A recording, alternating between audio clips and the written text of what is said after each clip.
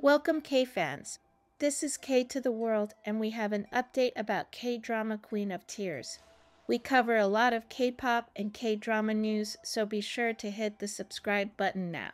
Fans of the hit K drama Queen of Tears are buzzing with an audacious wish the return of the iconic Vincenzo Cassano for the show's dramatic finale. Online frenzy surrounds the desire to see the beloved Mafia consigliere swoop in and help take care of Eun Seong.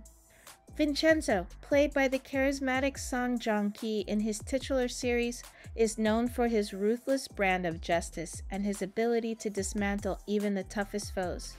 Fans speculate that he could be the perfect solution to finally getting rid of Eun Seong. Vincenzo always has a plan, and he would absolutely take down Eun Seong.